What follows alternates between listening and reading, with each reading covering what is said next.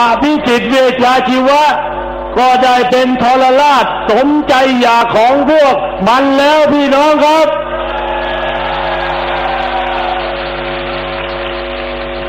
ขอให้พี่น้อง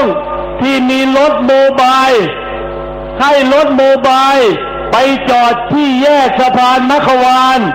และถ่ายทอดข่าวสารจากเวทีนี้ เนื่องจากที่สะพานมัควาน ขาดการติดต่อจากเวทีใหญ่ และไม่ทราบว่าสถานการณ์เป็นอย่างไร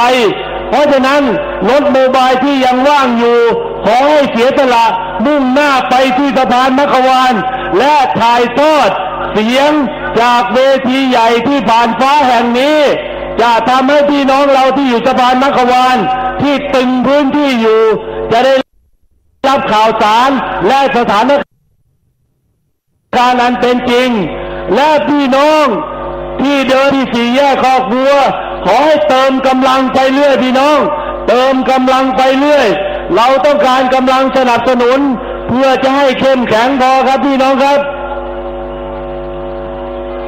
พี่น้องที่อยู่ที่สี่แยกคอกวัว ช่วยดูด้วยเพราะว่าทหารเหี้ยๆมันอยู่บนตึก แล้วก็ยิงพี่น้องเราลงมาวันนี้บาดเจ็บมากมาย แล้วก็ประกาศว่านายอภิสิทธิ์เวชชาชีวะ คุณอยู่ที่ไหน คุณไม่ต้องลาออก คุณอยู่ที่ไหน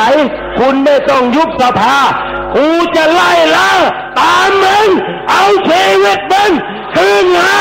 ชีวิตมึงต้องเป็นกับชีวิตประชาชนมึงยิงประชาชนพี่น้องที่เคารพท่านที่ไปสี่แยกโคกหัว ให้สังเกตดูบนตึกฝั่งซ้ายและฝั่งขวา ส่วนเขาเลยไปสี่แยกมิตรสห